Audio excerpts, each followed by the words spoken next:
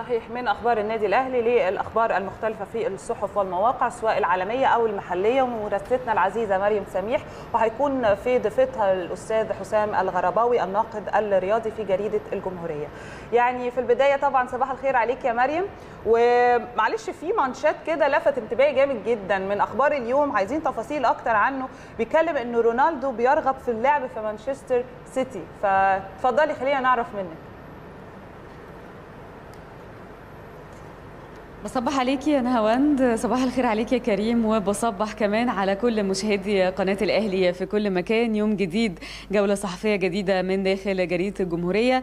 يعني يمكن يا نهاوند العنوان اللي انت قلتي عليه طبعا بالتأكيد هيكون معانا في خلال جولتنا الصحفية. ولكن هنختم بيه الجولة النهاردة عشان يكون في استفاضة أكتر. وطبعا هيكلمنا في الأستاذ حسام الغرباوي اللي هيكون في ضيافتنا النهاردة في جولتنا الصحفية.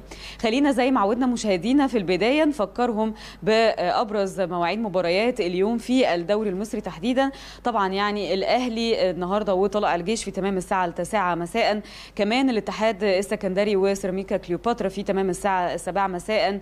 امبي والإسماعيلي في تمام الساعة السابعة مساء. وأخيرا الزمالك ووادي دجلة في تمام الساعة التاسعة مساء. خلينا دلوقتي ننتقل لأهم العناوين اللي هتكون معانا النهارده في جولتنا الصحفية والبداية من جريدة الجمهورية. مباريات ختام الدوري بلس 18 ومن اليوم السابع محمد بركات يمثل منتخب مصر في قرعة أمم أفريقيا اليوم. ومن صحيفة الشرق الأوسط هالاند أمل دورتموند لإطاحة البايرن والتتويج بكأس السوبر الألمانية. وأخيرا من أخبار اليوم رونالدو يرغب في اللعب مع مانشستر سيتي.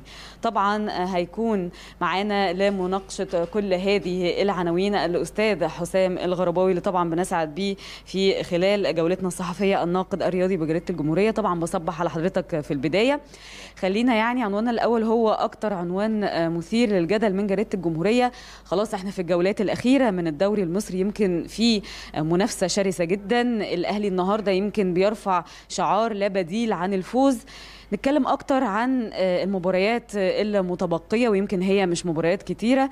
نتكلم أكتر عن الصراع كمان الشرس ما بين الأهلي والزمالك في الصراع على الحصول على بطولة الدوري. طبعا هو الموسم الحالي الصراع اشتد لأن طبعا لتقارب النقاط ما بين الأهلي وغريمه التقليدي الزمالك غير الموسم اللي فات كان فيه فارق كبير جدا في النقاط فطبعا الأهلي قدر يحسم البطولة ب قبلها بجولات عديدة ولكن طبعا الموسم ده بنلاقي إن فرق النقاط نقطتين ما بين الزمالك متصدر ب 70 نقطه والأهلي 68 نقطة. فطبعا ده بيشتد الصراع ما بينهم خاصة لما الأهلي تعادل ايجابيا في آخر مباراة ليه. وده طبعا بقى فيه على عاتق الجهاز الفني واللاعبين رغبتهم بقى في العودة مرة أخرى. وده طبعا هتوقف على مسيرة الزمالك النهارده طبعا مع وادي دجلة هتبقى الدنيا شكلها إزاي؟ طبعا الأهلي لو الزمالك تعثر أو في مباراه النهارده شيء طبيعي إن هو يعود بقوة هيبقى مطالب من الأهلي العودة مرة أخرى في أو الفوز بجميع الجولات الثلاثة القادمة. وطبعا هيبقى طبعا الأهلي هيبقى المشكلة عنده إن في بعض الغيابات عندنا. طبعا لسه بدري بنون راجع من الكورونا هيبقى عندنا محمد شريف سعد سمير غيرهم من اللعيبة. طبعا هم اللاعبين طبعا دلوقتي مروان محسن بيحاول إن هو موسيماني يعده بحيث إن هو يرجع تاني عشان بدلا من محمد شريف. وهيبقى محتاج منه طبعا ترتيب أوراقه بشكل قوي عشان يقدر إن هو يوظف أوراقه خاصة إن إحنا عندنا بغياب طبعا السولية برضه هيبقى في عبء كبير على الأهلي. ولكن طبعا عندنا حمدي فتحي عندنا صلاح محسن عندنا كثير من اللاعبين اللي يقدروا في الأهلي إن شاء الله يعودوا طبعا دي هيدي عمق تفكير ما بين المديرين الفنيين لأن طبعا دلوقتي كل فريق هيبقى بيذاكر كويس قوي المنافس اللي قصاده هيعرف إيه أوراق الربح إيه الغيابات وهيحط خطته على على هذا الأساس. وبناء على ده هو اللي هيقدر اللي يقرأ كويس المنافس اللي قصاده هيقدر إن هو يحوز بالفوز إن شاء الله. ونتمنى لجميع الفرق إن هي تظهر بمستوى كويس. ونتمنى للأهلي إن هو يكمل مسيرته بشكل قوي ويبقى طبعا البطولة إن شاء الله ال 43 ليه ويبقى يحقق رقم قياسي جديد في بطولة الدوري العام و... و... و... ود- ودروعها بقى اللي طبعا مشجعينه بيحب إن هو تملي يبقى هو مسيطر عليها إن شاء الله. إن شاء الله بإذن الله كل التوفيق طبعا للنادي الأهلي في مباراة اليوم.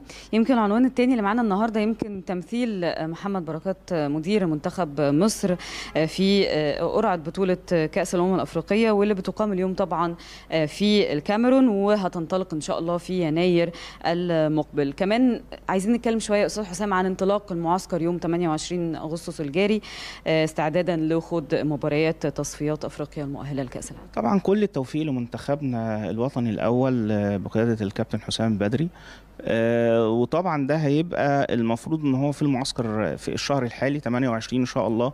أكيد هيبقى آه، معسكر يختلف عن آه، سابقه آه، خاصة إن مصر بدأت آه، مبارياتها ال- ال- السابقة خاصة آه، أمام كينيا وجزر القمر. كان في ال- ال- الجمهور المصري غير راضي لغاية لما طبعا ده آه، تم تحسينه أو تحسين الرؤية أمام توجو في الذهاب والإياب بأربع اهداف ولكن بعد كده حصل طبعا تعادلات وده آه، أمام كينيا وجزر القمر ولكن دي هي شراسة ال- البطولة. طبعا كانت مصر متصدرة قدرت إن هي توصل لأمم أفريقيا متصدرة المجموعه ب 12 نقطة آه، وده هيحمل حسام البدري كتير هو وجهازه الفني إزاي إن هم فعلا آه، يضعوا الخطة اللي هي تقدر إن هو يفوز على أنجولا وتوجو في المباراتين القادمتين في بداية سبتمبر 2 و5 إن شاء الله وده هيخليه إن هو إزاي يختار العناصر أو اوراق الرابحة بحيث إن هو يبدأ بقوة كبيرة جدا حتى تعمل راحة نفسية للشارع المصري اللي إحنا طبعا ب ب آه، متعطشين لأن إحنا نتأهل لكأس العالم في قطر 2 آه، 22 إن شاء الله.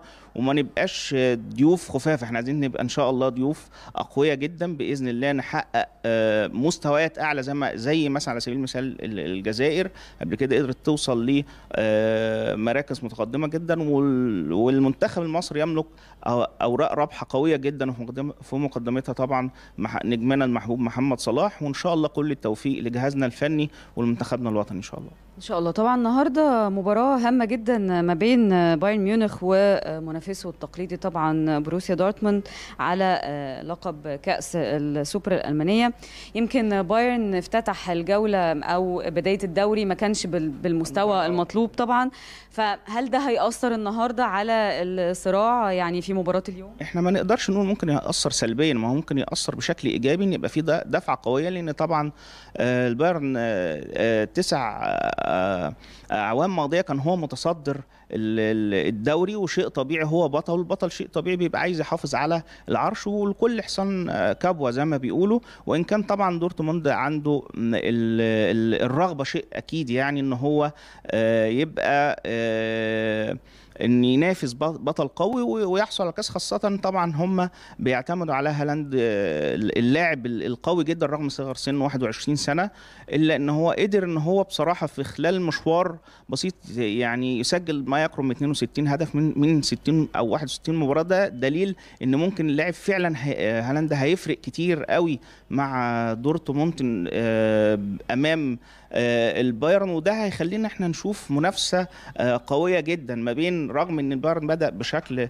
ضعيف ودورتموند آه، آه، أمام فرانكفورت قدر إن هو يفوز بخمس أهداف مقابل هدفين ده بيديله دفعة معنوية قوية يخليه يعني يبقى واقف ثقة أمام بايرن وده هيخلينا إن إحنا إن شاء الله نشاهد مباراة قوية جدا والبقاء للأفضل والأقوى يعني.